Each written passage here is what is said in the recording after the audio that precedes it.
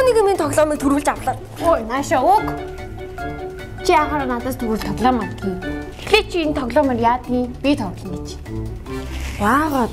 Энэ тоглоомыг би төрүүлж авсан шүү дээ. Чи нааша үгөөч.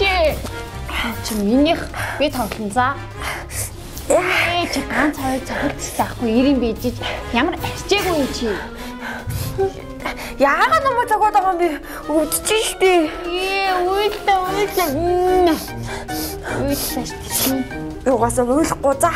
Ээж намайг эмэгтэй хүүхдээ битгий зодороо битгий зохиороо гэсэн болохоор би ойлгохгүй бас чамайг зохгүй байгаа заа юу. Тэнийг хохин за.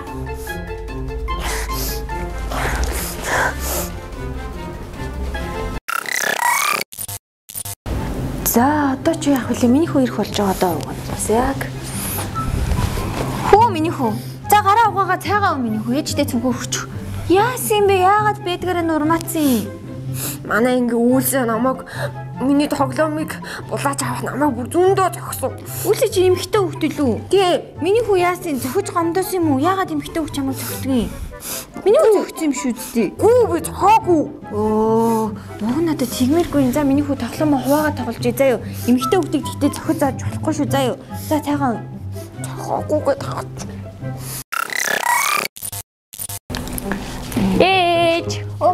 Хүрээд ирсэн. За миний хүү өрөөндөө орж тоглол.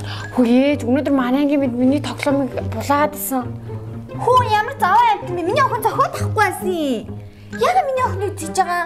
Тэгээ би авсан чинь дахиад булаад авсан надаас. Яг тийм хүмүүжлгүй байлаар заваа юмнууд ингэж том болоо эмхтэн хүн дээрлэхдэг байхгүй. Ийм жоохноос ангийнхан банд банд дээрлэхүүлнэ гэж байхгүй. Дахиж тэгвэл миний охин зохиод аваараа заа юу.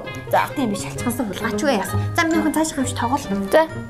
Ямар одооны хүмүүс чи юу болчоо? Байлаа гэд цохиулаад өвддөггүй. Тэгээд бас уйлдгүй гэсэн үг биш шүү дээ. Эрэгтэйч бай, эмэгтэйч бай нэнийг зохиж өрөөсө болохгүй. Бүгд тэг ширэгтэй шүү хүмүүдээ.